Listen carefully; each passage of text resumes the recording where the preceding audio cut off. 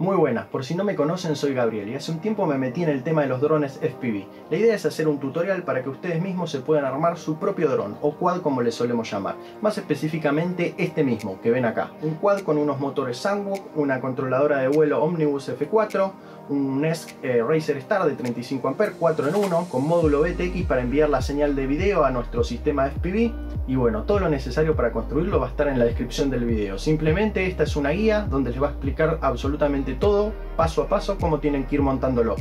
Posiblemente sea el primero, Así que la idea es que no solo les sirva para comenzar, sino que también les sirva más adelante cuando ya sean más experimentados. Es por eso que a diferencia de otros tutoriales, acá lo que les voy a presentar es un plan de ahorro futuro. Sí, no se rían, pero es así. Van a tener un dron con un desempeño muy bueno y un sistema de radio que podrán conservar de por vida. Todo eso sin tener que desembolsar obviamente una tonelada de dinero, así que será un balance intermedio. Tendrán un muy buen quad y un muy buen sistema de radio, que luego podrán ir actualizando con módulos encastrables sin la necesidad de cambiarlo.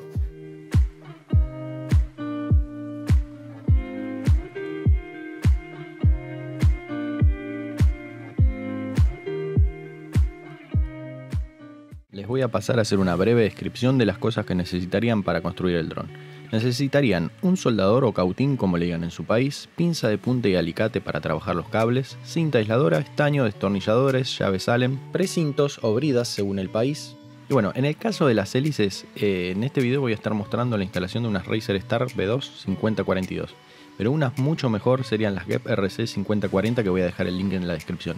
También algo que sería ideal, aunque opcional, sería poder contar con un multímetro para detectar posibles errores. En el caso de los ESC o variadores de velocidad vamos a estar utilizando esta versión 4 en 1 para simplificar su instalación. Tenemos por este otro lado el receptor FreeSky en su versión XSR y vamos a estar necesitando un radiocontrol de la misma marca FreeSky. Y por este otro lado tenemos la controladora de vuelo, que en este caso es una Betaflight Omnibus F4 versión 3.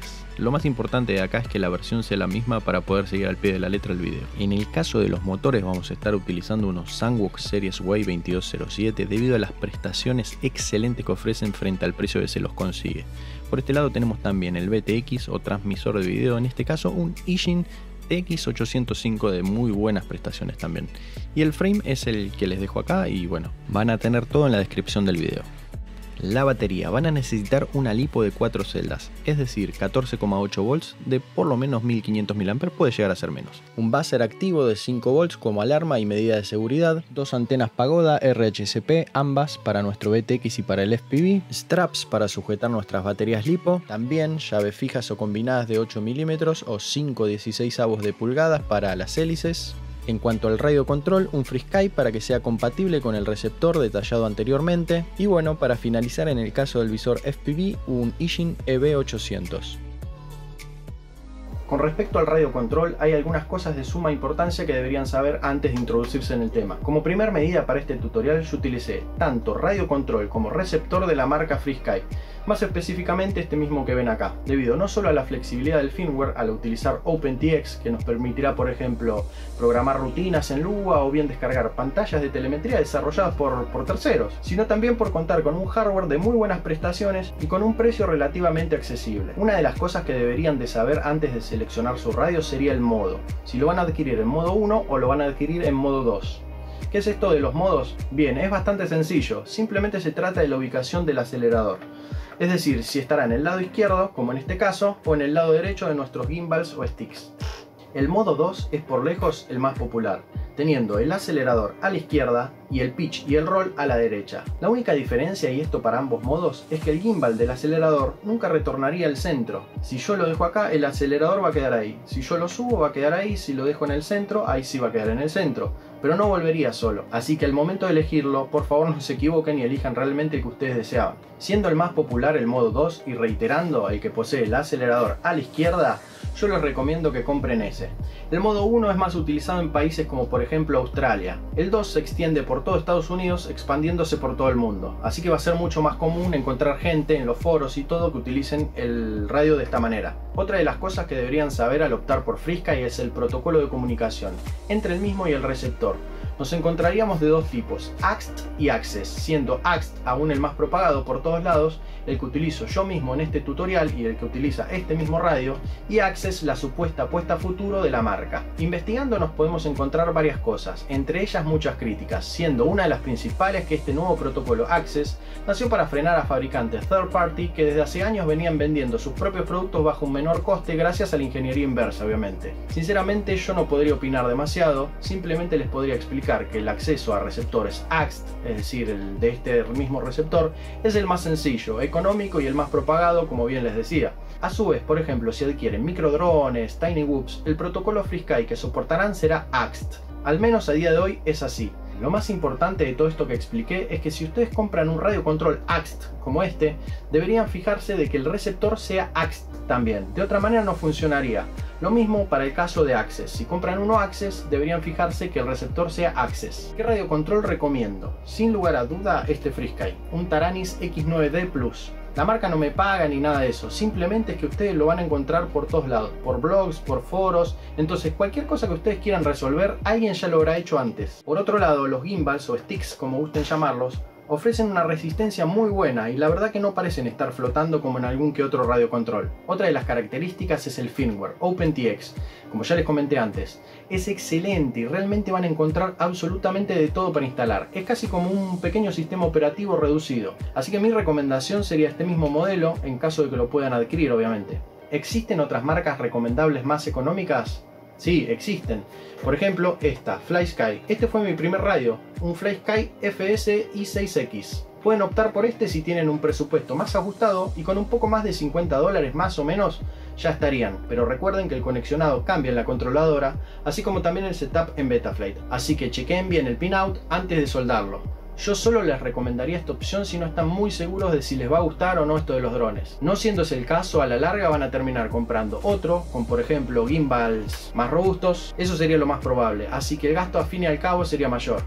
Si se pueden estirar un poco y adquirir un Tarani se van a olvidar de por vida. Pero bueno, así todo este FlySky realmente es una excelente opción, es muy bueno.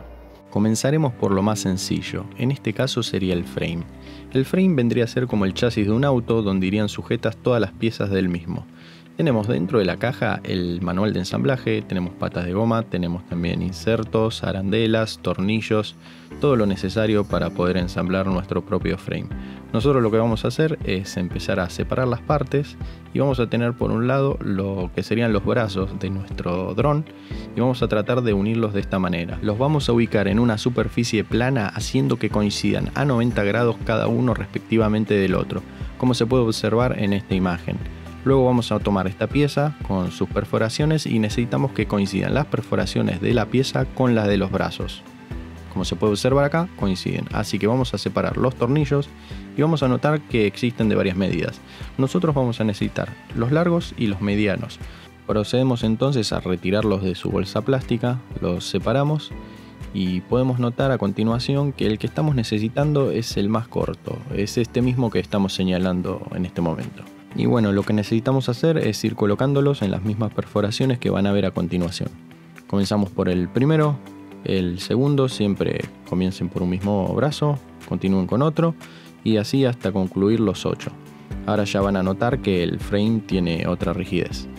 Ahora lo que necesitamos es bueno, separar lo que serían los insertos, así que vamos a proceder a dar vuelta el frame muy despacio para que no se desarme y una vez dado vuelta lo que vamos a necesitar es buscar esta misma pieza, la cual debe ir en la siguiente ubicación. Una vez que la tengamos correctamente ubicada, tomaríamos lo que serían los insertos, que no serían más que unas tuercas que en realidad entrarían en parte de lo que sería el material. Más adelante iré mostrando cómo sería el proceso para la fijación total. Lo que haremos ahora es enroscarlos manualmente con la mano para que el proceso sea menos tedioso. En total enroscaremos una cantidad de 8 insertos, equivalente a la cantidad de tornillos que previamente hemos puesto. Se puede observar a continuación cómo sobresalen de la fibra de carbono. Lo que necesitamos es hacer que esa pequeña parte de abajo ingrese en el material. Para ello necesitaremos un set de destornilladores con Allen o un juego de llaves Allen directamente. Iremos probando hasta encontrar la que corresponda. Comenzaremos a ajustar para notar cómo los insertos inciden en el material, se ajustan y dejan de moverse. Ahora bien, lo que necesitaremos son los tornillos que nos habían quedado antes. Serían los más largos, así que vamos a ubicarlos en los agujeros que nos quedaron restantes. Necesitaríamos un total de 4. Y para este total de 4 necesitaríamos también un total de 4 insertos. Así que los separamos, los ubicamos y bueno, ya tendríamos bastante completo lo que sería la parte de abajo de nuestro frame. Ajustamos de la misma manera que lo hicimos anteriormente, tomamos la llave Allen y verificamos que los insertos queden dentro del material. Procedemos a buscar estas arandelas que en un principio uno podría pensar que fuesen de goma, pero en realidad no, así que siendo plásticas las vamos a ubicar solamente en esta parte de abajo. Tomaríamos entonces lo que serían estas piezas plásticas roscadas, las vamos a ubicar en esta posición, Así que enroscamos simplemente, tratemos de no ajustar de más porque al ser plásticas se pueden falsear y girarán en falso.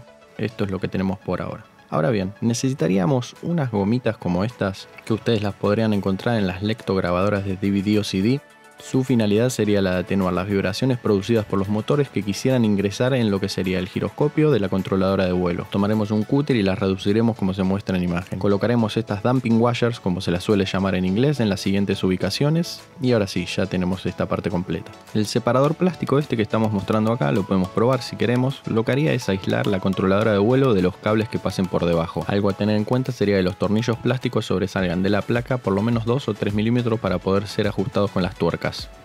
Continuaríamos con lo que sería el ESC o variadores de velocidad, que en este caso vienen integrados en un módulo que es 4x1. Procedemos a retirar el conector XT, los cables de alimentación, tenemos también por un lado un sticker, un termo contraíble, que en este caso no, no vamos a utilizar.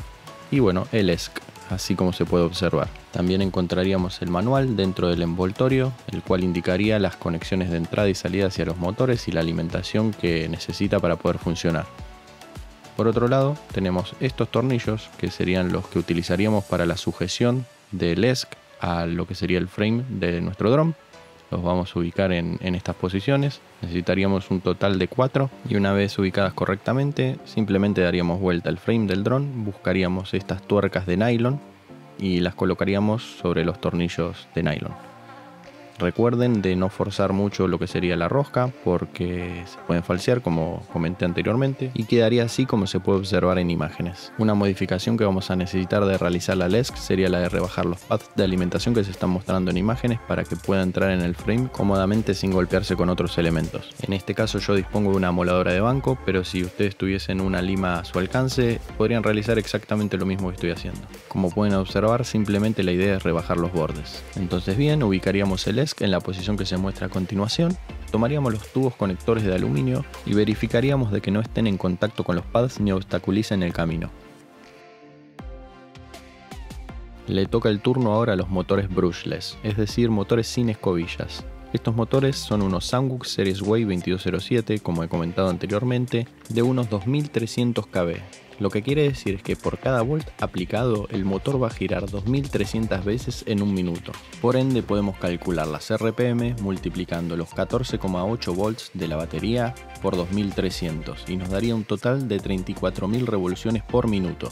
Bien, procedemos a abrir la bolsa que nos traen los motores. Encontraremos un set de tornillos, algunos de repuesto, y una tuerca autofrenante. Iremos poniendo uno a uno los tornillos dentro de las perforaciones del extremo de alguno de los brazos y una vez que los tengamos bien colocados simplemente recurriremos a algún motor y haremos que la orientación de los cables quede apuntando hacia el centro del frame como se puede observar en la imagen. Y ahora con la ayuda de una llave Allen iremos ajustando los tornillos para que los motores queden 100% fijados a lo que sería el frame. Algo muy importante a detallar sería el centrado de los motores, ya que las perforaciones para los tornillos tienen un poco de juego por si los motores son diferentes. Con simplemente observar el centrado entre el rodamiento y el frame estaríamos bien. Ahora continuamos haciendo exactamente lo mismo para los tres motores restantes. Y algo muy importante a recalcar sería que los tornillos jamás deberían sobrepasar demasiado la base de sujeción de los motores, ya que quedarían muy cerca del bobinado efectuando un rozamiento no deseado que a la larga terminaría estropeando los motores. Terminaremos de instalar las unidades restantes y ya tendremos lo mismo que se estaría mostrando en este momento en imágenes. Este sería nuestro frame con los cuatro motores ya situados donde corresponden, ajustados y todo perfectamente alineado. Y ahora es el turno del soldador, seguramente para muchos de ustedes lo más temido del tutorial. Lo que en realidad tienen que hacer es prestañar los pads del ESC, como se está mostrando a continuación. Deben apoyar la punta sobre los mismos por uno o dos segundos más o menos e ir aplicando estaño hasta notar que se cubrieron completamente. En caso de que no tengan ningún tipo de experiencia les recomiendo practicar en alguna placa de circuito impreso de algo que se les haya roto. Ahora bien, separaremos los cables y prestañaremos las puntas de los mismos que ya vinieron peladas con anterioridad por el fabricante pero en caso de no ser así, con la pinza y el alicate lo haremos nosotros. Juntaremos todos los cables con la mano simplemente, los pasaremos por aquí debajo y ahora les iré mostrando cuáles son los que tienen que ir separando y sus ubicaciones donde tienen que ir soldados en los pads. En este caso comenzaremos por este, el que está más a la derecha. Deberá soldarse en el tercer pad como les estoy mostrando. Simplemente los uniremos, tengan cuidado de no quemarse los dedos, apoyaremos la punta del soldador y al estar los dos prestañados se unirán al instante. Y así es como les tiene que quedar. Ahora necesitaríamos el cable del medio del motor que iría ubicado justo en la posición del medio de los pads que estamos manipulando. Solamente nos queda el último cable que iría soldado al pad restante más al extremo de nuestro ESC. Y así es como nos tiene que quedar. Ya tendríamos nuestro primer motor instalado, así que ahora podemos seguir con el segundo. Haríamos exactamente lo mismo, pasaríamos los cables por debajo y separaríamos este, el del extremo más a la derecha como se está mostrando en esta imagen. Simplemente lo soldamos en el tercer pad, comenzando de izquierda a derecha, haremos lo mismo, apoyaremos la punta del soldador y ahora pasaremos al cable del medio. El cable del medio es el más sencillo y el restante siempre es el del extremo. Ahora bien, tenemos el tercer motor para instalar. Lo que hacemos es pasarlo de esta manera por debajo del ESC. Separando ese cable, pueden ponerle pausa al video o volver para atrás y ubicándolo en esta posición. Prestañamos en caso de no haberlo hecho antes, esto es muy importante para que se suelde fácilmente y no tengamos ningún problema. Y soldamos. Ahora como venimos haciendo siempre, separamos el cable del medio y lo soldamos en el pad del medio. Apoyamos y soldamos, así de sencillo. El que queda sería el restante, iría al extremo. Y ya lo tenemos. Nos restaría simplemente soldar el último motor, Así que continuamos con eso. Hacemos lo mismo, juntamos los cables, los pasamos por debajo del ESC, prestañamos en caso de no haberlo hecho. 1, 2 y 3. Y simplemente separamos el que está más a la derecha, como se puede observar, y lo vamos a soldar en esta ubicación. Volvemos a realizar la operación de siempre, lo soldamos, ahora separamos el cable del medio y lo colocamos en el pad del medio. Hacemos lo mismo, lo soldamos y nos quedaría solamente el cable restante, que sería el del extremo, que iría al extremo del ESC. Y ahora sí, ya tenemos nuestro frame con los cuatro motores brushless instalados. Las baterías, unas lipo, en este caso una marca CNHL, que a mí me resulta bastante bien, son bastante económicas, tienen que ser de 4 celdas, es decir, de 14,8 volts por lo menos 1500 mAh. En mi caso, si ustedes quieren que sean de menos, por ejemplo 1000 mAh o menos para que sean menos pesadas y puedan volar más ligero, las pueden comprar tranquilamente, va a volar espectacular. Le va a durar un poco menos lo único. Lo que se tienen que fijar bien es la descarga. Yo les recomiendo de 1500 mAh una descarga de 100. Con eso van a cubrir el consumo general del ESC y los motores, así que no van a tener problema. Le toca el turno ahora al sistema de alimentación. Para ello vamos a necesitar un conector XT60, los cables, un cúter para poder pelar por ejemplo este cable rojo que sería el de alimentación positiva. Siempre por norma general y uso de razón común, el rojo siempre es el positivo. Lo que hacemos para saber el largo es presentarlo al conector XT60 y ver que más o menos coincida de esa manera. Ahora lo que haremos es, bueno, pelar la otra punta y lo mismo luego para el cable negro. Exactamente lo mismo. Pelamos una punta, luego pelamos la otra lo presentamos con el conector XT60 y ahora si tienen alguna morsa o alguna herramienta de sujeción pueden hacer lo siguiente, que sería amarrarlos o ajustarlos a su herramienta para poder prestañar tranquilos sin que se estuviesen moviendo. Ahora pondremos el cable rojo a la bornera positiva de nuestro conector XT60 que viene denotado con un símbolo positivo y a su vez su cara es plana. Lo soldamos como se mostró recién y ya podemos pasar al negativo. Para ello hacemos exactamente lo mismo pero con el cable negro soldado a la bornera negativa, como se está mostrando acá, de nuestro conector XT60 y nos quedaría de esta manera. Prestañamos los terminales opuestos de los cables, arrimamos nuestra estructura nuevamente y nos vamos a disponer a prestañar los pads de nuestro ESC. Primero lo hacemos con uno, luego con otro. No vamos a escatimar en material ya que la corriente que va a circular por estas conexiones va a ser sumamente alta. Necesitamos el cable rojo positivo al positivo del ESC como se marca acá. Lo mismo para el cable negativo. Por suerte la serigrafía de la placa indica su polaridad. Utilizaremos cinta aisladora para separar los cables del conector XT60 y que nunca se produzca ningún tipo de cortocircuito. Aislaremos para mayor seguridad cada uno de los cables por separado. Y para finalizar, terminaremos de utilizar el mismo aislante para completar la tarea de esta manera. Lo que necesitaríamos ahora antes de soldarlo al ESC sería pasar los dos cables por el orificio este que se encuentra acá Doblaremos alguno de los dos cables, en este caso tomaremos el negativo y lo soldaremos al pad negativo del ESC. Haremos lo mismo exactamente con el cable rojo que sería el positivo.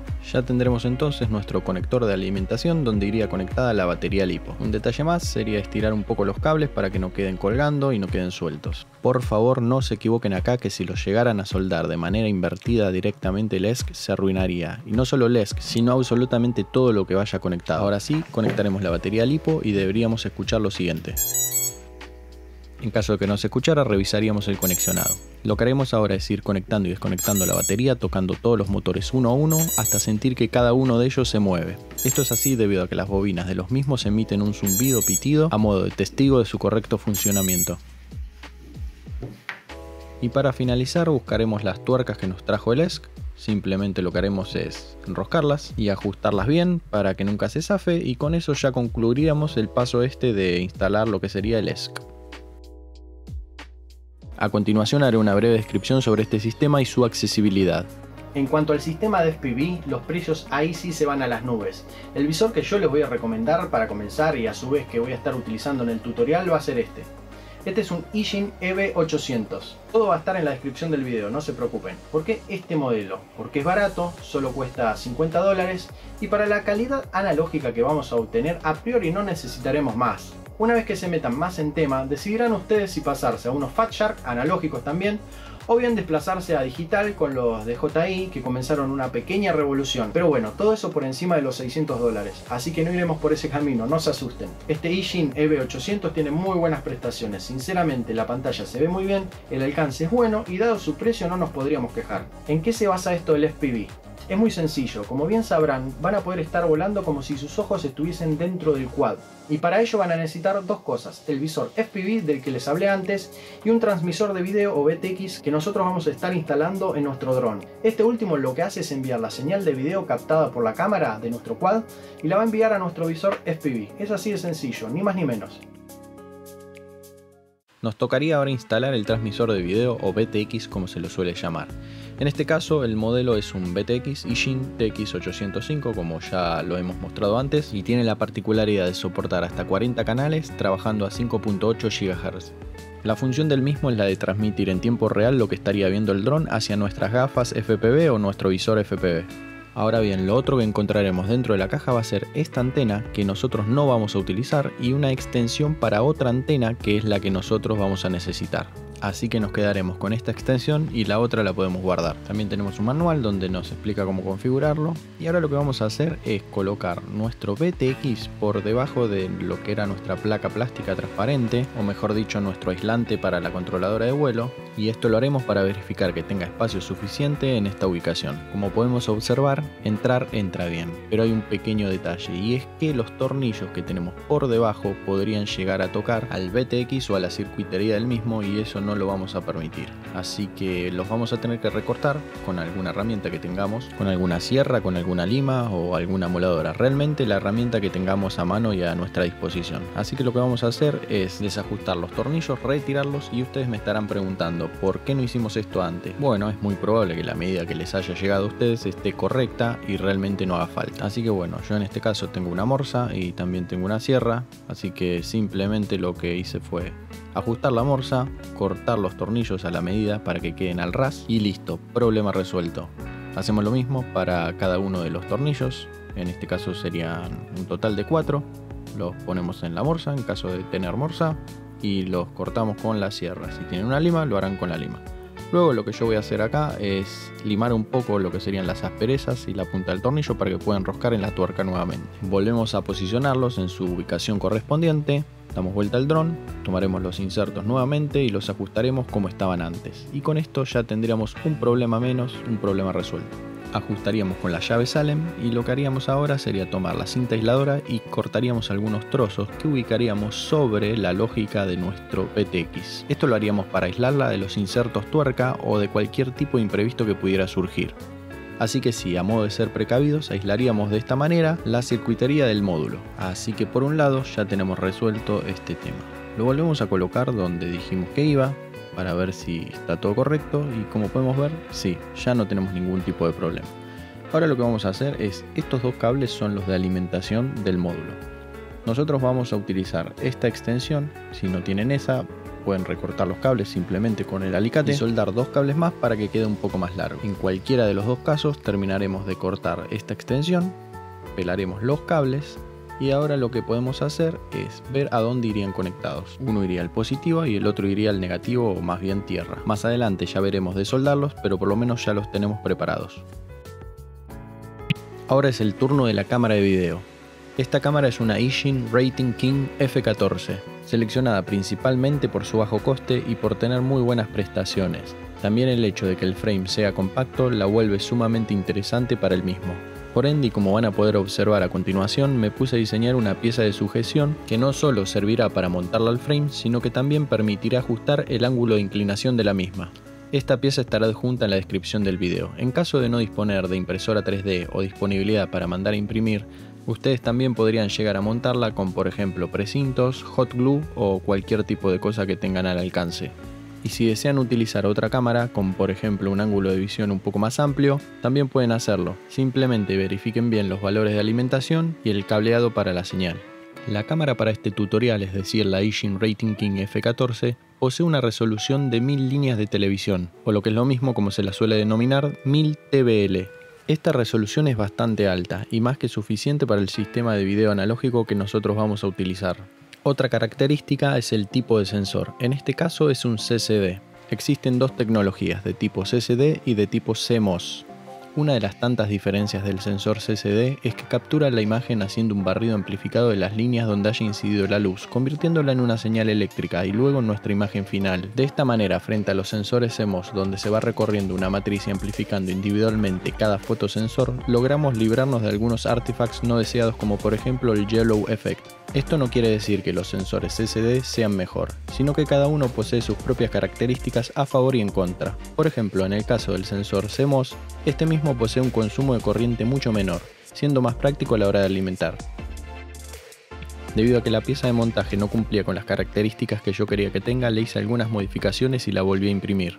La versión que ustedes tendrán en la descripción será la segunda con las modificaciones y las mejoras. Ahora sí, este es el resultado final, la pieza impresa en 3D. Recuerden que si ustedes no tienen impresora pueden montarlo de cualquier otra forma. Entonces bien, tenemos por un lado la cámara y por otro la pieza impresa en 3D. También tenemos estos tornillos y tuercas, de los cuales las dimensiones son las que estoy dejando en pantalla observando una altura de 2,8 milímetros para la tuerca, 6,2 de lado y 3 milímetros de diámetro para el tornillo. Lo primero que hacemos es tomar alguna de las tuercas que tenemos, le colocaremos super glue o el tipo de pegamento que consigan en su país y lo vamos a insertar dentro de la pieza plástica que acabamos de imprimir. Apretamos un poco para que calce bien y ya estaríamos. A modo de consejo, intenten no poner demasiado pegamento ya que el mismo podría meterse dentro de la rosca y el tornillo no se ajustaría como corresponde o en definitiva costaría demasiado que entre. Y ahora sí, lo que hacemos es tomar la cámara, introducirla dentro de nuestra pieza de fijación y lo que tenemos que hacer ahora es tomar estos tornillos, en caso de que no vengan con la cámara, buscarán algunos Parker similares que puedan entrar en, en las perforaciones de la misma. Simplemente los atornillamos y ya estaríamos. Les quedaría algo así como lo que están observando ahora en este mismo momento en imágenes. Buscamos luego estas piezas estas piezas serían las de la parte de arriba de nuestro frame. Vienen en 3-4 partes en realidad. Una parte superior y tres partes más pequeñas donde iría montada la cámara justamente.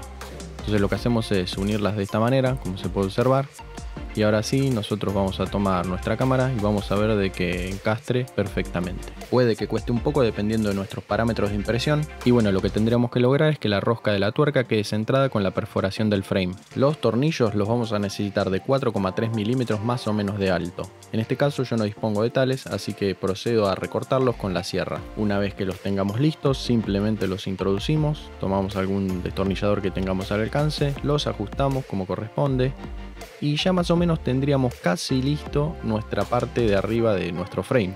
Podemos ver de ajustar el ángulo de nuestra cámara, ajustar nuevamente los tornillos y dejarla como a nosotros más nos guste. Necesitamos ahora dos de los tantos tubos de aluminio que nos trae el frame, verificaremos que calcen justo en esta posición, tomaremos los tornillos y los ajustaremos con la llave Salem. Cada uno fijado en uno de los extremos, y bien ese sería el último paso para esta fijación de la cámara al frame. Terminamos de ajustar con un total de 4 tornillos, nos fijamos que todo quede correctamente centrado y ya estaríamos. Esta parte ya, ya la tenemos resuelta.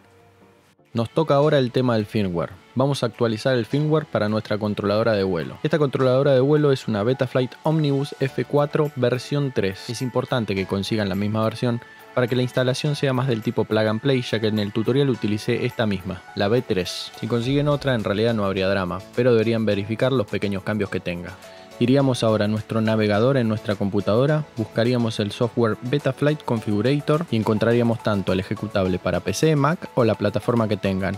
Dejaré el enlace en la descripción. Ustedes deberían descargar la última versión disponible al momento de ingresar. Luego de instalar el software y ejecutarlo, buscaríamos un cable micro USB, enchufaríamos la controladora de vuelo a uno de los terminales y el terminal grande a nuestra computadora. Escucharemos el ruido clásico de dispositivo nuevo conectado en el caso de Windows y notaremos un LED azul titilando en la controladora. En este caso es azul, puede que ustedes tengan otro color. Deberían notar un puerto de comunicación seleccionado automáticamente, en este caso el 3, y ahora sí podríamos darle al botón de conectar deberíamos ser capaces de notar cómo el modelo 3D del programa rota al mismo tiempo que nosotros giramos la controladora de vuelo gracias al giroscopio. Un detalle muy importante es que la flechita esta que les muestro acá debería de coincidir con la del modelo 3D. En caso de no ser así, desde la configuración se puede modificar y rotar, pero primero debemos ir a CLI para comenzar con el proceso de actualización de firmware. Una vez dentro, buscaremos el campo de texto de abajo de todo, escribiremos version y le daremos enter. Esto hará que la consola exponga a continuación la versión de la placa, siendo en este caso una Omnibus F4 SD. Una vez verificada la versión, iremos al botón Disconnect.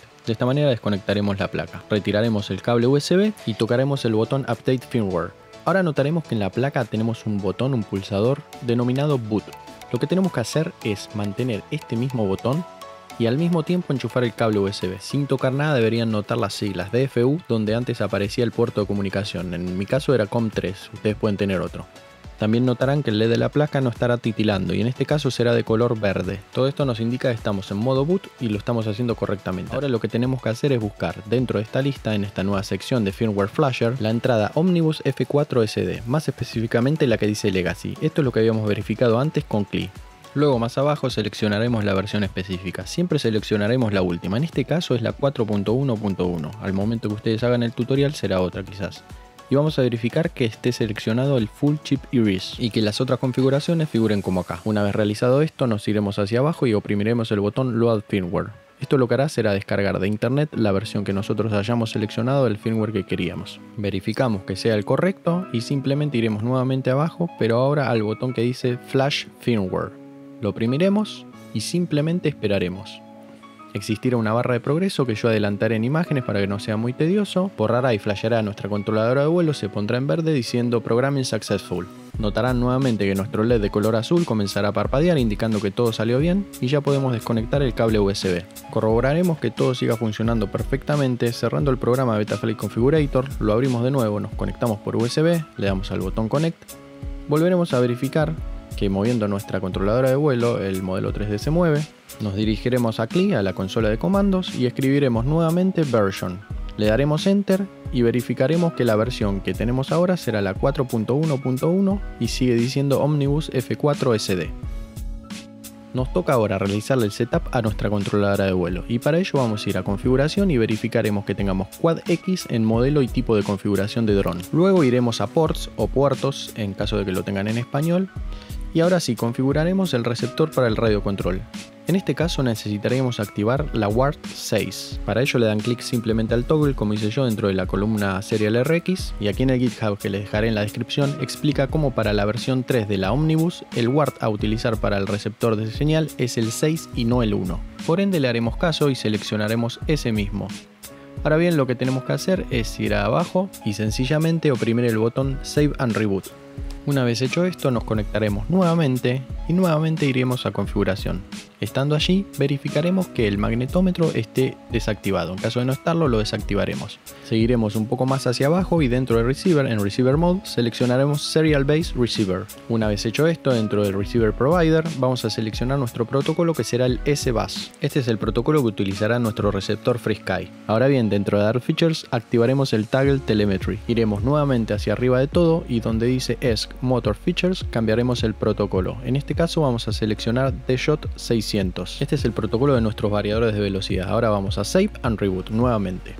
Nos conectamos una vez más y simplemente vamos a Ports de nuevo. Y ahora en el Ward 3 nosotros lo que vamos a conectar es el transmisor de video. Dentro de periféricos vamos a seleccionar BTX TBS Smart Audio. De esta manera podremos modificar la potencia y los canales de nuestro BTX desde nuestro OSD en nuestro visor FPV. Y por último utilizaremos la WART 1 para nuestra telemetría, así que en la columna de telemetría seleccionaremos Smart Port. Una vez hecho esto y para finalizar, ubicaremos el botón Save and Reboot de abajo, lo oprimiremos, nos conectaremos nuevamente y ahora iremos a la sección Power and Battery. Una vez que estemos allí, deberemos verificar que Onboard ADC esté seleccionado en los dos list box de arriba de voltaje y de corriente. También verificar las escalas y modificarlas en caso de que tengan una lectura inapropiada. Necesitamos hacer una pequeña modificación para que el protocolo SmartPort de nuestro receptor funcione correctamente. Para ello vamos a ir a CLI y vamos a escribir en el campo de texto getTLM, así separado. Oprimiremos Enter y lo que tenemos que verificar es el TLM-inverted. En este caso está en apagado, está en off. Por ende, para modificarlo, escribiremos dentro del campo de texto set TLM-inverted igual on, como se puede mostrar aquí. Oprimiremos Enter y notaremos en el output de la consola que fue seteado a ON. Para hacer la última verificación y quedarnos seguros, escribiremos get espacio TLM, oprimiremos Enter y veremos que sí, efectivamente está en ON. Por último y lo más importante, debemos de escribir Save en el campo de texto y oprimir Enter. De otra manera los cambios no serán guardados. Notarán cómo la controladora de vuelo se desconecta sola, ustedes la conectarán nuevamente y harán un último get TLM para verificar que los cambios fueron almacenados. Bien, ahora procederemos a instalar nuestra controladora de vuelo en nuestro frame. Como medida principal siempre debemos alinear la flecha esta que nos aparece en la controladora para que apunte hacia la parte de adelante de nuestro dron. Siempre tiene que quedar así. Tomaremos luego los cables de conexión que nos vinieron en el ESC, nuestro variador de velocidad 4 en 1, los conectaremos en el mismo, ajustaremos bien la ficha para que no se mueva cortaremos los cables más o menos a esta altura. Verifiquen tener los cables en exactamente las mismas posiciones de este video y con exactamente los mismos colores para poder seguir este tutorial. De igual manera, en el manual del ESC tendrán una guía práctica y sencilla del conexionado, de entradas y salidas, describiendo dónde irían los motores, las entradas para controlar a los mismos, dónde se conectaría la batería y la salida también del sensor de corriente hacia la controladora de vuelo. Lo primero que vamos a hacer es tomar el cable rojo y el negro, los vamos a pelar y estos dos cables van a estar conectados directamente a la batería. Y lo que vamos a hacer es medir continuidad con nuestro multímetro en caso de tenerlo. De esta manera podemos verificar si la alimentación está en corto y si los cables están conectados a donde deberían ir. Con una punta sobre el cable negro iremos tocando las soldaduras que hicimos para la entrada de la batería. Si pudieron notar y escuchar, el pitido lo hace en ambos casos, pareciendo a priori que estaría en corto, pero luego de probar varias veces el pitido solamente debería efectuarse para el cable del mismo color. Fíjense que ahora vamos a hacer exactamente lo mismo con el rojo. Y ahora solamente los dos rojos sonarían. Esto es debido a alguna posible carga capacitiva en el variador que se terminaría descargando luego de probar y efectuar varias veces el testeo. Modificaremos ahora el multímetro para poder medir tensión continua, enchufaremos nuestra batería lipo de 4 celdas y tomaremos ambos cables, el rojo y el negro, y con los terminales de nuestro multímetro mediremos la tensión y como bien se puede observar, la batería en este caso tiene un total de 15,47 volts. La conexión está bien. Prepararemos nuestro soldador nuevamente y verificando el diagrama de nuestra controladora de vuelo donde aparece nuestro pinout, encontraremos VBAT y ground uno al lado del otro en estas posiciones. Ahí mismo es donde nosotros tenemos que soldar el cable rojo y el negro de recién. De esta manera la controladora de vuelo será alimentada directamente desde la batería sin tener ningún problema ya que cuenta con un regulador de voltaje. Prestañaremos entonces una primera isla, en este caso la de tierra, luego la segunda, la de Vivat, y luego haremos lo mismo con los cables, con el rojo y con el negro. Apoyaremos para unir los cables, en este caso la tierra, y la soldaremos. Luego haremos exactamente lo mismo pero con el cable Vivat de alimentación el rojo. Apoyaremos la punta del soldador, soldaremos y listo, ya lo tendríamos. Prestañaríamos en esta ubicación, tomaríamos el cable blanco y lo soldaríamos en esa misma ubicación para el sensado de corriente. Y para verificar que la controladora de vuelo haya quedado bien alimentada, enchufaremos nuestra batería. Como podemos observar, el LED testigo verde estaría delatando que la placa se encuentra encendida. Pasamos entonces a desconectar la batería y pasamos a conectar las líneas de control para lo que serían nuestros motores. Tenemos por ende cuatro entradas en nuestro variador y cuatro salidas en nuestra controladora de vuelo. Lo que tenemos que hacer simplemente es unirlas. En nuestro diagrama de la controladora nos encontraríamos con las PWM, teniendo la 1, la 2, la 3 y la 4. Ahí mismo es donde nosotros soldaremos los cables del variador de velocidad siguiendo el orden numérico del mismo. Así que nuevamente prestañaremos cables. Tenemos el naranja, el amarillo, el verde y el celeste. Prestañaremos, luego tomaremos un alicate y cortaremos las puntas para que puedan entrar bien en las perforaciones donde tenemos nosotros nuestros pads. Partimos por prestañarlos como venimos haciendo y en esta oportunidad yo prestañé algunos demás que en realidad no me había dado cuenta, pero ustedes los que tienen que, que utilizar son los de arriba simplemente. No va a cambiar en nada en realidad que queden las soldaduras en esas ubicaciones, pero sí procuren de conectar los cables a donde realmente tengan que ir y para ello, ejemplificando, primero tomaremos el cable celeste y lo conectaríamos en esta posición. Soldaríamos, luego haríamos lo mismo con el verde, tomaríamos ahora el naranja, lo soldaríamos en esa ubicación y lo mismo pero para el amarillo en la última ubicación. Y listo, ya tenemos este paso resuelto. Ahora bien, vamos a configurar y verificar el orden, posición y sentido de giro de nuestros motores pero antes de comenzar jamás se les ocurra tener las hélices puestas en los motores. Cualquier tipo de descuido va a terminar en un accidente bastante grave, así que por favor créanme y saquen las hélices. Pasamos a conectar nuestro dron al PC, simplemente por cable USB. Vamos a abrir nuestro Betaflight Configurator, doble clic, nos conectaremos y ahora vamos a ir a lo que sería la solapa de motores. Dentro de motores notarán este recuadro en 0 o casi 0 volts. Para verificar que el sensado de tensión esté funcionando, conectaremos nuestra batería volveremos a mirar y ahora podemos observar que tenemos un total de 15,39 en nuestro caso. Ustedes tendrán obviamente el valor de tensión de su batería actual. Procedemos a activar el toggle este de entiendo los riesgos, donde les pide que remuevan sus hélices y ahora sí, pasaríamos al orden de los motores y como pueden observar, Betaflight tiene un orden y un sentido para cada uno, comenzando del 1 y terminando en el 4. Buscaremos entonces el slider número 1 y lo subiremos simplemente un poquito notaremos que uno de los motores gira y procuraremos que sea el mismo del diagrama. En caso de no ser así, algo habrán conectado mal. Revisen el conexionado y retomen de aquí el tutorial. Y ahora realizaremos exactamente lo mismo pero con el motor 2. Subiremos solamente un poco el slider, verificaremos de que esté girando, nos pasaremos al 3, realizaremos exactamente la misma operación y ya nos quedaría y nos restaría solamente el motor 4. Así que subimos un poco el slider y ya si lo tenemos girando estaríamos perfectamente en condiciones para proseguir.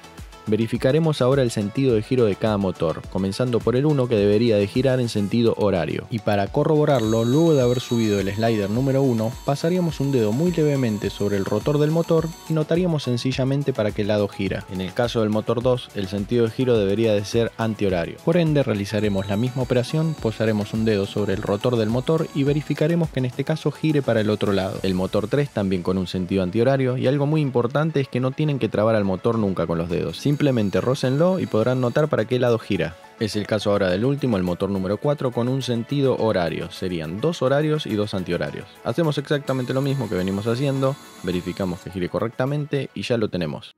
Bien, proseguimos a la instalación de nuestro receptor de radio. En este caso es un FreeSky XSR con protocolo S-Bus.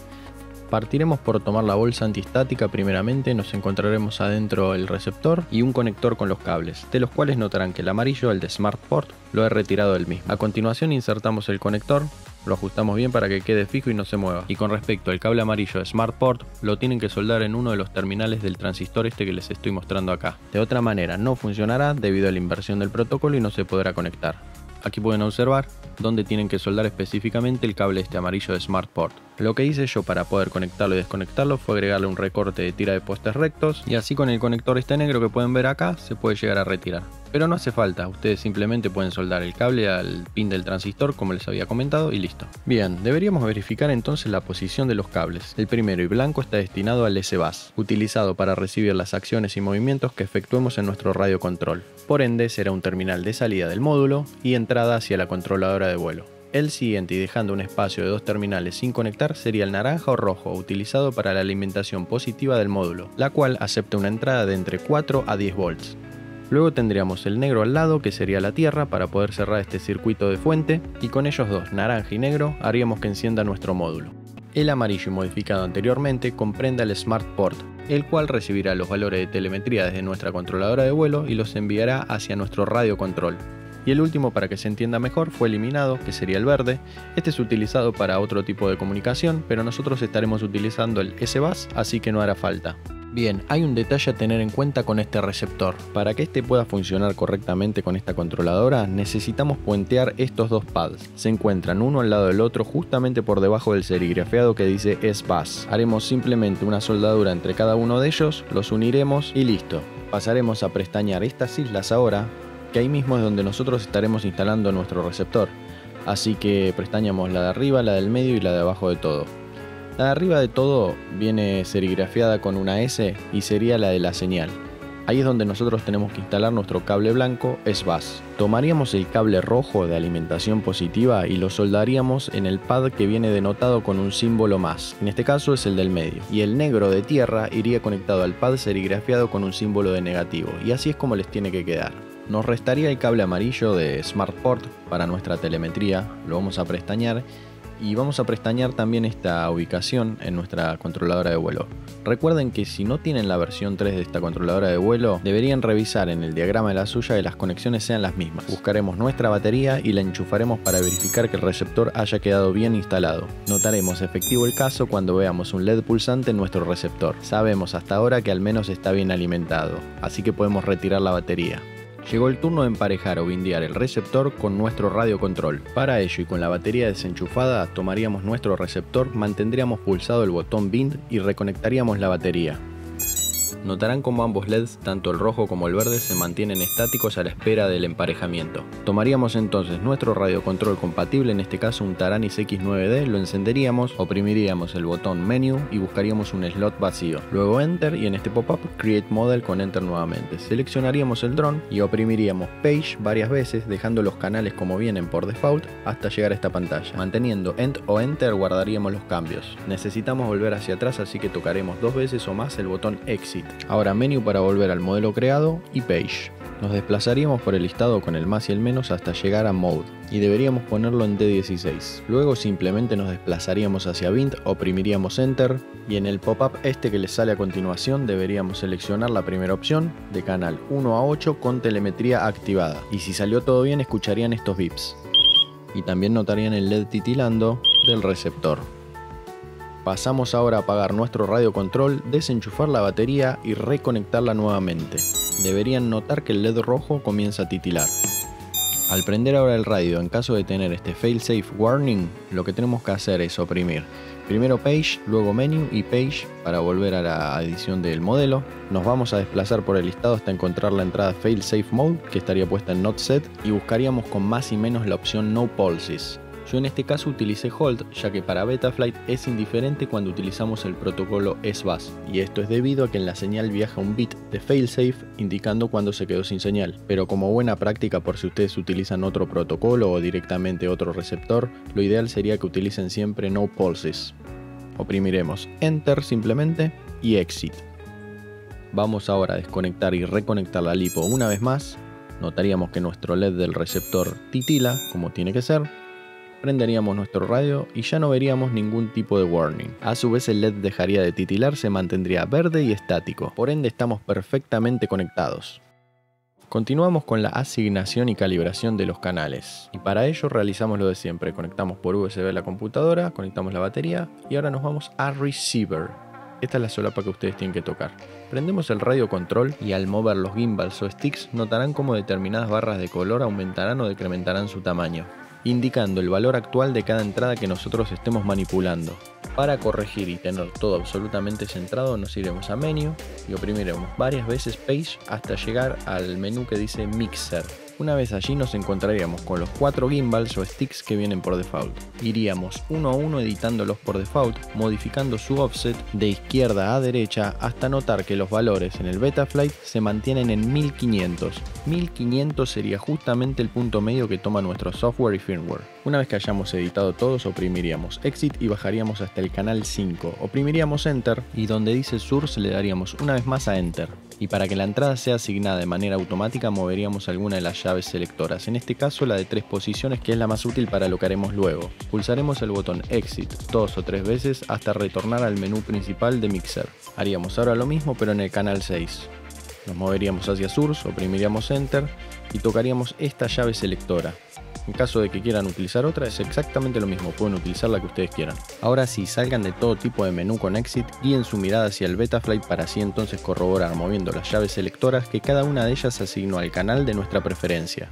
Algo que no queremos olvidarnos es ir a configuración y desactivar el Air Mode que viene por default seteado en On. Esto para principiantes es sumamente útil. Lo apagamos y nos vamos al botón de Save and Reboot. No se olviden de tocar este botón. Luego de que se reinicie y se vuelva a conectar, vamos a ir a la solapa Modes. Nos situaríamos en la primera fila de ARM, es decir, el armado de nuestro dron, y oprimiríamos el botón Add Range. Notaríamos por default la opción Auto, por ende, si nosotros tocamos la llave selectora de tres posiciones, se asignaría automáticamente. Nosotros vamos a utilizar en la posición de arriba de todo el desarmado, en la del medio modo Angle y en la última Air Mode o Acro. Deberían ser capaces de notar una pequeña línea que se posa sobre 1000, 1500 y 2000 cada vez que ustedes mueven la llave. En caso de que no hubiese funcionado la asignación manual, simplemente desplegarían el listbox y buscarían el canal de esa llave. Y para chequear realmente de cuál se trata, nos iríamos hacia Receiver, la moveríamos para delatar cuál es y anotaríamos su canal auxiliar, en este caso el 1. Volvemos y seleccionamos entonces AUX 1. Ahora vamos a ampliar el rango manteniendo este botón y llevándolo hacia la derecha, observando así que la llave en su posición más arriba estaría desarmada y en la del medio y abajo el dron estaría armado. Agregamos ahora el rango para Angle. El modo Angle sería nuestro modo de vuelo asistido y aquí también asignaríamos la misma llave o switch de tres posiciones, aunque el rango en esta ocasión lo dejaríamos como está para que en el medio se pueda armar y a su vez setear en modo Angle. Nos vamos ahora hacia abajo scrolleando hasta encontrar Air Mode, nuestro modo acrobático. Pulsamos Add Range, autoasignamos el mismo switch o llave o bien lo seleccionamos desde el listbox y nos pasamos a desplegar la barra de rango manteniendo este botón y llevándolo hacia la derecha, luego tomando el otro y llevándolo hacia más o menos 1700, lo dejaremos ahí. Estaríamos entonces casi listos. Buscaríamos ahora para finalizar la entrada del buzzer, es decir, nuestra alarma le agregamos un rango y asignaríamos el otro switch o llave, como gusten llamarlo, por comodidad como hicimos en el tutorial, el de la izquierda de todo. Esta sería nuestra alarma en caso de que se pierda. Estiraríamos el rango y lo dejaríamos así, dejando la posición de arriba de todo como apagado y la del medio y abajo como encendido. Una vez que tengamos todo listo, iríamos hacia el botón de Save y guardaríamos nuestros cambios. Desconectamos todo USB, batería, volvemos a conectar nuestra batería, encendemos nuestro radio control, luego de oprimir menú apretaríamos varias veces Page hasta llegar a Telemetry y una vez ahí iríamos recorriendo todo el listado bajando hasta encontrar una entrada que dice Discover New Sensors. Oprimiríamos Enter y de esta manera gracias al SmartPort recibiríamos todos los valores tanto de temperatura, inclinación, nivel de batería, corriente consumida, es decir, toda la telemetría de nuestra controladora de vuelo. Le daremos a Exit varias veces hasta salir y pasaremos a hacer la primera prueba de nuestro dron sin hélice, por favor. Siempre al momento de encender necesitamos de ahora en más tener todos los switch arriba. De otra manera, ni el mismo radio control ni Betaflight nos dejará continuar. A su vez, también tenemos que tener el acelerador hacia abajo. Vamos ahora a mover la llave switch de la derecha hacia el medio para armarlo. Lo subimos, lo volvemos a bajar y así varias veces para verificar que funcione bien. Así en armado moveríamos nuestro gimbal izquierdo para verificar que los motores aceleren, luego tomaríamos el derecho y haríamos lo mismo. Todo perfecto, desarmamos y chequeamos que los motores no estén demasiado calientes al punto de quemarnos los dedos. Si se mantienen tibios después de un rato vamos por buen camino. Tocaremos también el ESC para ver que no esté hirviendo. Vamos ahora a hacer el montaje e instalación de la etapa de video y para ello vamos a necesitar por un lado la cámara con sus respectivos cables, la cámara la vamos a dejar en PAL. Y por otro lado tendríamos a nuestro transmisor de video.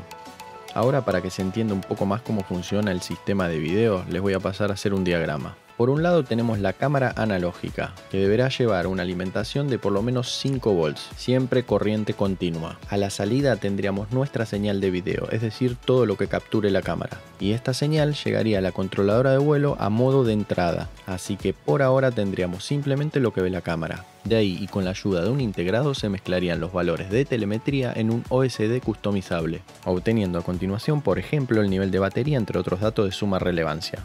Esta señal con todos los valores rasterizados viajará a la salida y se terminará conectando a la entrada de nuestro BTX, es decir, de nuestro transmisor de video. y para finalizar el mismo llevará una alimentación de entre 7 y 24 volts de continua, hará que la señal se propague por el aire llegándonos a nuestro sistema de FPV.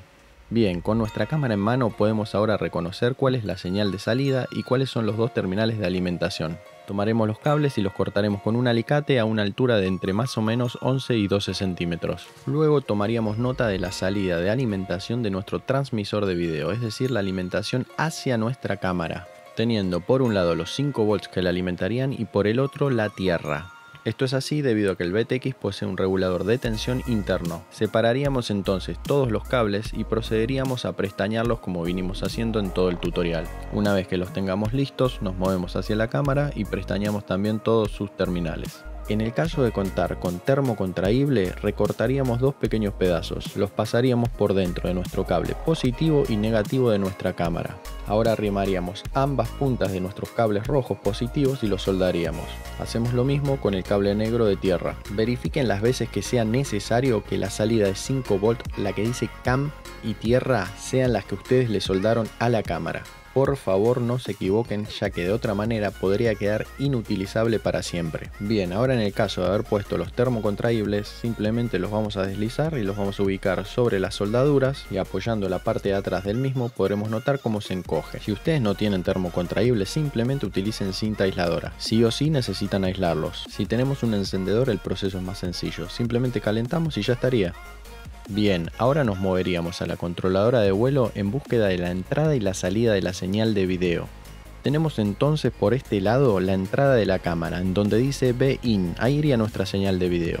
Acá más abajo tenemos el B-OUT, esta salida iría al BTX a nuestro transmisor de video pasaremos a tomar nuestro soldador y prestañaremos, en este caso, el B-out y luego haremos exactamente lo mismo con el B-in. Una vez que ya lo tengamos listo, tomaremos nuestra cámara, separaremos el cable blanco de salida de señal de video y lo soldaremos en la siguiente ubicación. Pasaremos a separar el cable de nuestro BTX, en este caso el amarillo, el que dice video, y lo soldaremos en el B-out, en la ubicación que se muestra a continuación. Verificamos que no se mueva y que haya quedado perfectamente soldado y ahora sí nos podríamos mover a lo que sería el Smart Audio, el cual configuramos previamente como WART 3. Por ende acá iría soldado el cable verde del mismo.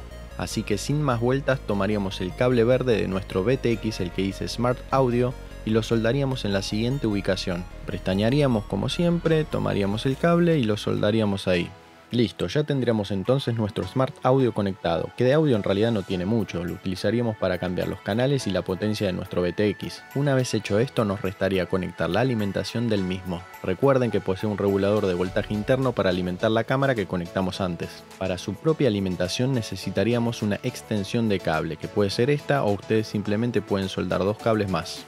Entonces el cable que dice de 7 a 24 volts tiene que ir soldado al terminal o cable rojo grueso del ESC, a donde entraría nuestra batería, y el otro, el que dice GND, es decir, tierra, al cable negro. Así que lo que hacemos ahora es tomar los dos cables y pasarlos por debajo del ESC, sacarlos por la parte trasera. Tengan cuidado de no tironear demasiado como hice yo en este caso, para que no se rompa nada. Separen los cables y bueno, lo habitual, prestañarlos Tomamos el alicate y los recortamos para que no queden sobrantes. Soldamos por un lado el positivo apoyando el soldador y haciendo contacto. Luego lo mismo con el negativo o tierra y ya estaríamos listos. Ya tenemos otro tema resuelto. Faltaría solamente la fijación del módulo BTX al frame de nuestro dron. Pero primero probaremos que el sistema de video instalado haya quedado en perfectas condiciones como para poder proseguir sin problemas. Y para ello utilizaremos esta antena que en un principio les dije que no la íbamos a utilizar. La conectaremos. En caso de haber retirado nuestra cámara del conector la volveremos a conectar y pasaremos a enchufar nuestra batería, siempre sin hélices. Podemos ver que funciona perfecto.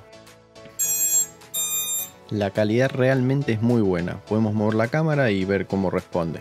Pasamos ahora a prender el radio control para hacer una prueba de ruido, lo armaremos con nuestro switch de la derecha y sí, efectivamente, se mete algo de ruido en la señal. Esto es algo que igual solucionaremos con algunos capacitores. Ahora vamos a ver cómo acceder a la configuración de Betaflight utilizando el sistema de FPV por medio de la interfaz gráfica de nuestro OSD. Para ello y luego de conectada la batería vamos a llevar nuestro stick de acelerador hacia el medio, luego nuestro yo hacia la izquierda y para finalizar el pitch hacia arriba.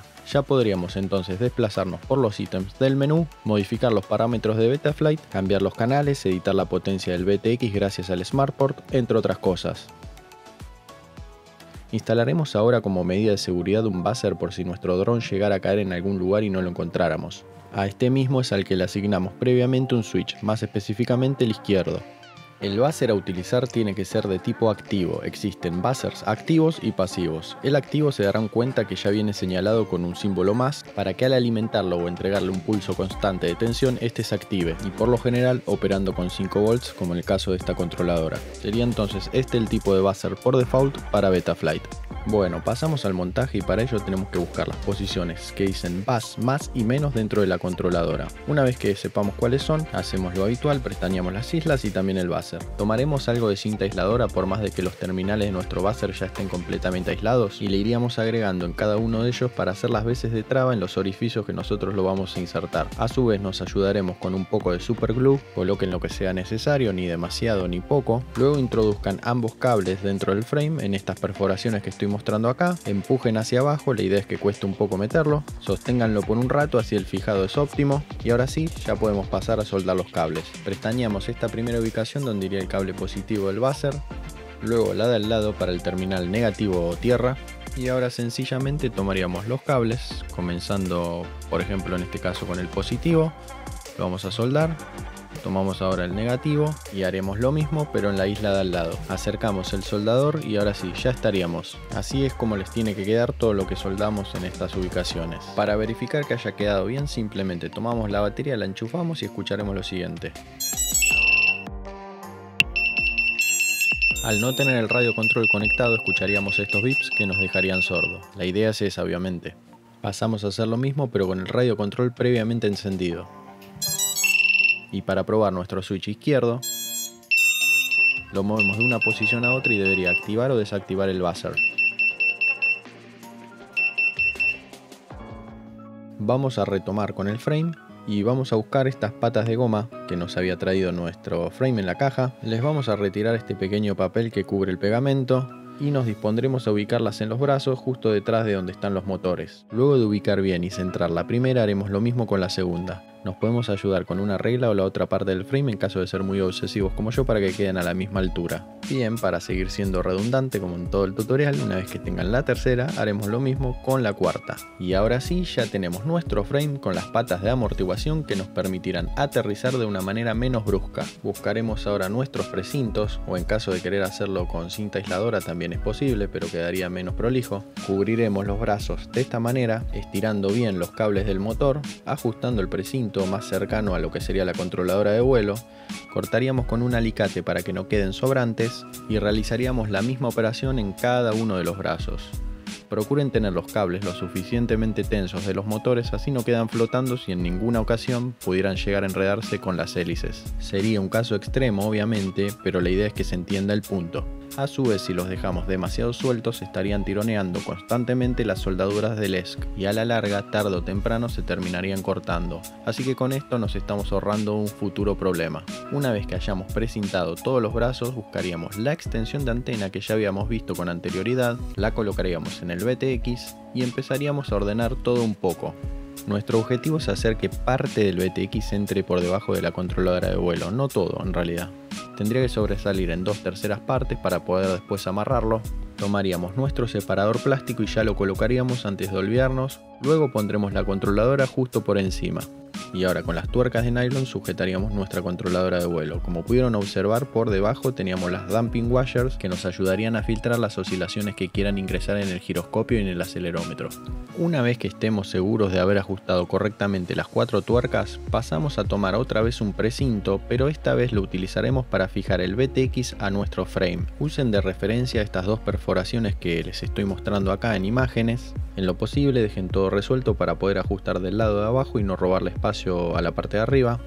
Tómense su tiempo para que quede bien, prolijo, acá no hay nadie quien los apure. Ajusten en una primera instancia solo un poco, roten el dron y procuren que el precinto o brida, como le dicen en España, cubra solamente la parte más baja, la más delgada de nuestro BTX. Ahora sí ya pueden terminar de ajustar teniendo todo centrado y cortar el sobrante de plástico.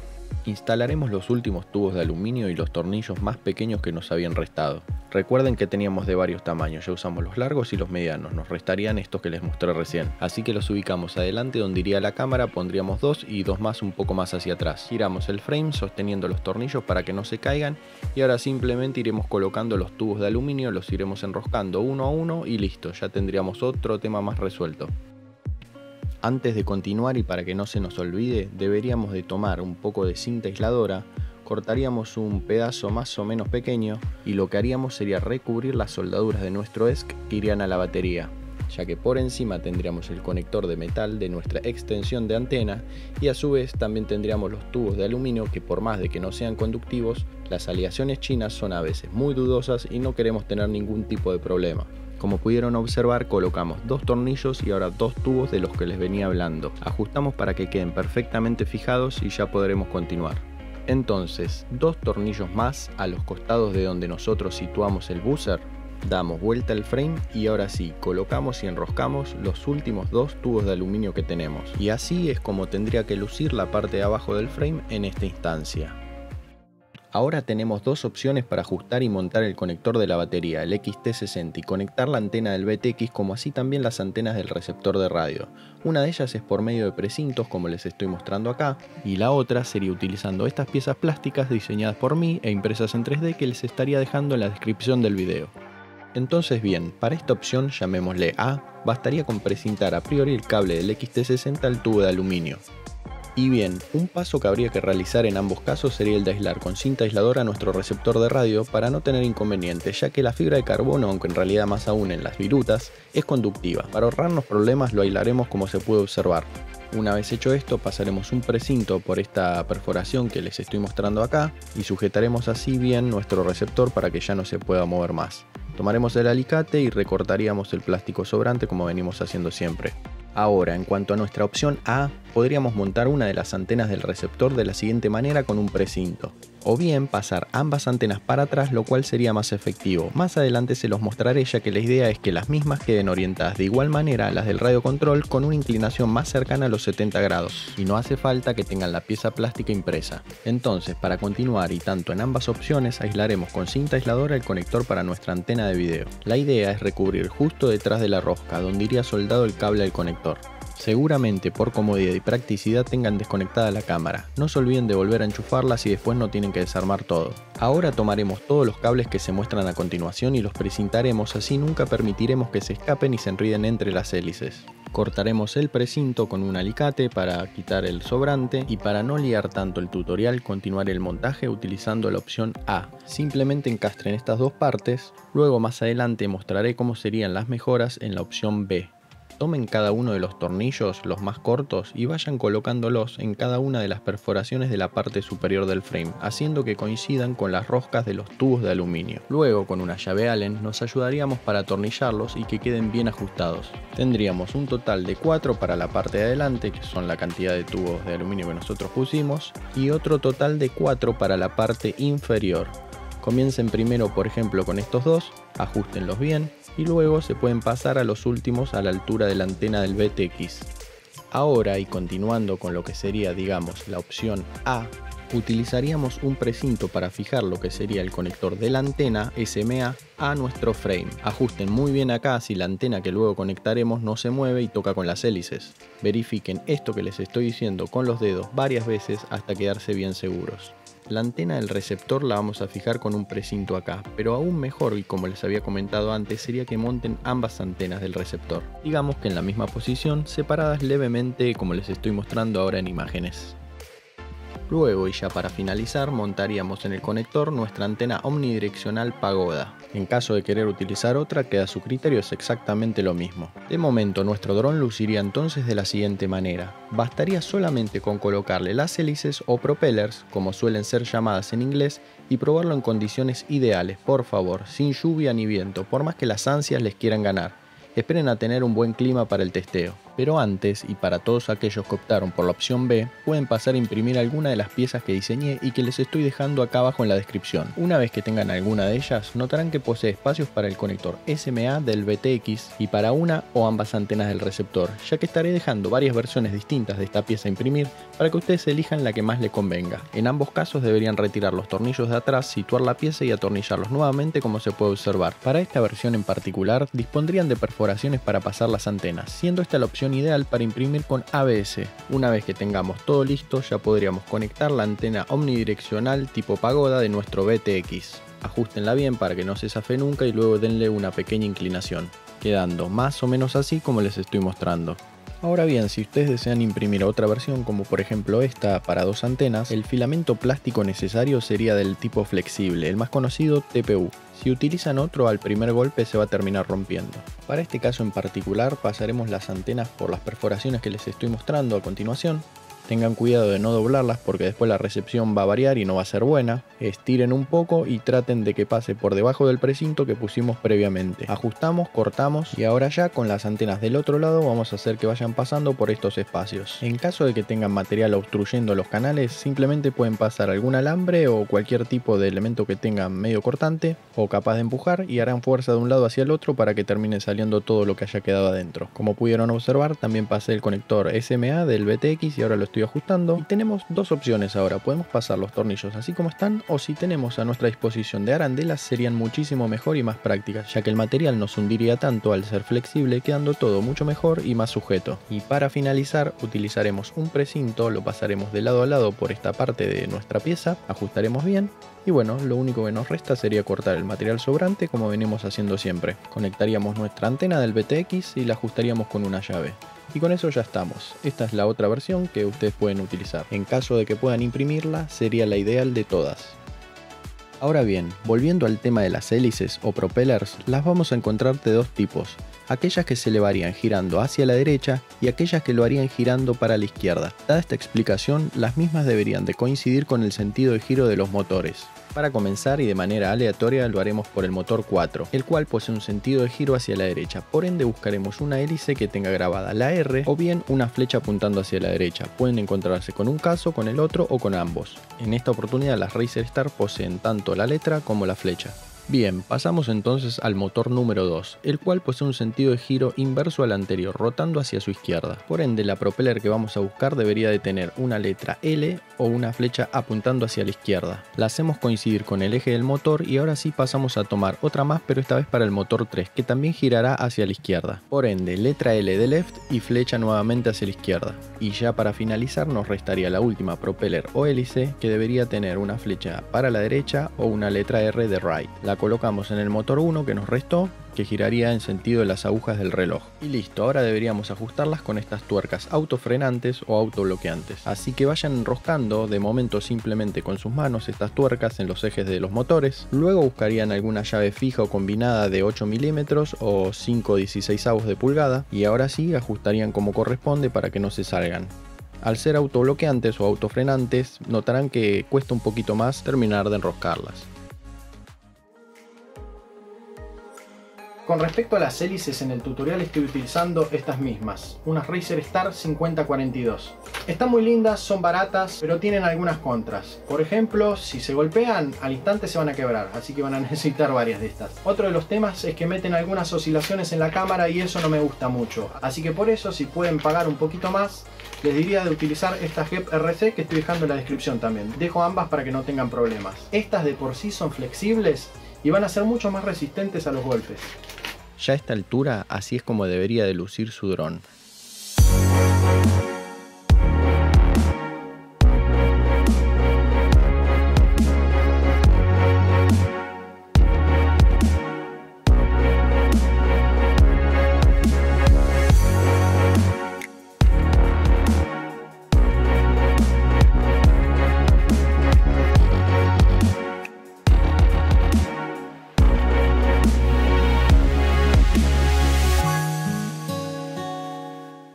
Pasaremos a algunos detalles que nos quedaron en el tintero. Número 1 tenemos esta especie de goma que ubicaremos donde les estoy mostrando y que servirá para amortiguar el peso de la batería. La misma la encontraremos en la caja del frame. Ahora pasando a las straps de sujeción pueden pasarlas como les muestro o bien por debajo pudiendo utilizar una o dos, yo les recomiendo si es que pueden que pongan ambas. Para la de más atrás necesitarán recortarla con una tijera para hacerla menos ancha y que así pueda pasar. A continuación les explicaré más en detalle cómo es este tema de las straps.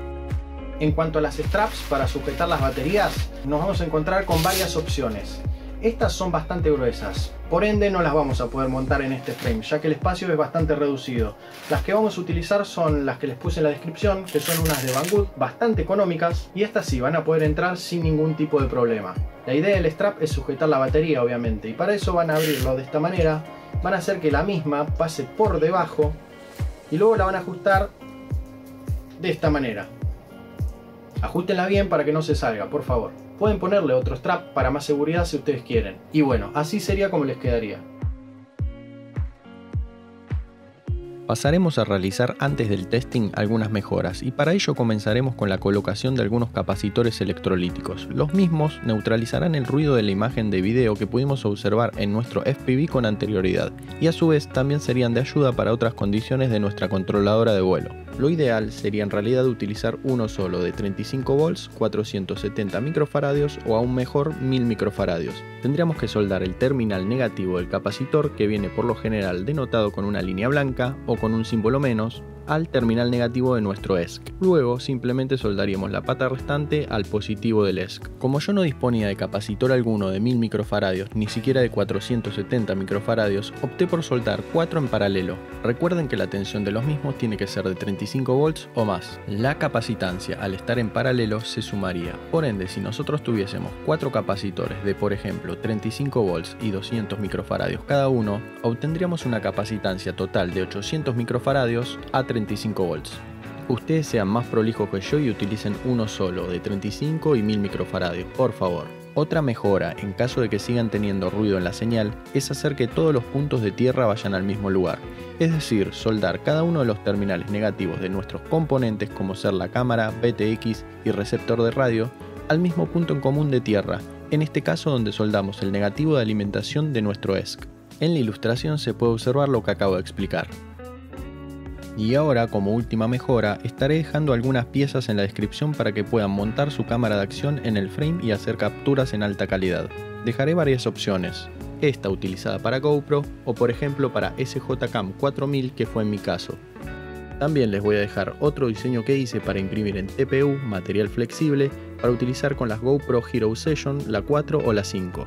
Este material no solo va a resistir a los golpes y nos protegerá la cámara de los mismos, sino que también ayudará a amortiguar las vibraciones que se quieran colar en la cámara produciendo el no deseado Yellow Effect. El diseño lo hice ajustado para que la cámara entrara a presión y no se saliera de ninguna forma, así que si el dron se cayera, se golpeara o pasara cualquier cosa, la cámara siempre seguiría estando en el mismo lugar. Bueno, para montarla sencillamente tendrían que quitar estos tornillos de esta parte delantera del dron y luego volver a montarlos por encima de la pieza. Los ajustamos bien y listo. En ambos casos, tanto el diseño anterior como este funcionarían de la misma manera.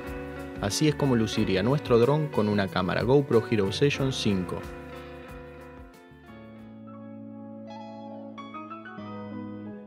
Bien, llegó la hora de la verdad. Vamos a probar ahora si nuestro quad funciona, si todo funciona perfectamente. Vamos a hacer un testeo acá por la casa, algo tranquilo. Realmente no les recomiendo hacer un testeo en un espacio tan cerrado. Esperen a que el día sea bueno, que no llueva ni nada, y salgan afuera en un espacio más amplio y pruébenlo.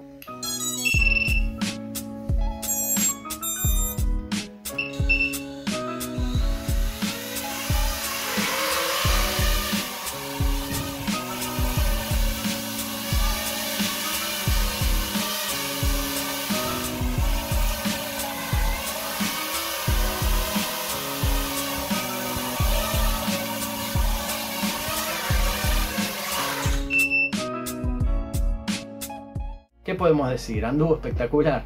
Así que ustedes mismos podrán reproducir esto mismo si siguen el tutorial. Anímense y háganlo. La verdad que si les gusta esto, si están todo el día mirando videos de drones como hice yo en su comienzo, anímense, armen su propio dron y salgan a volar. Les voy a mostrar ahora algunas tomas, algunas capturas que hice en la costa argentina con este mismo dron. Espero que las disfruten.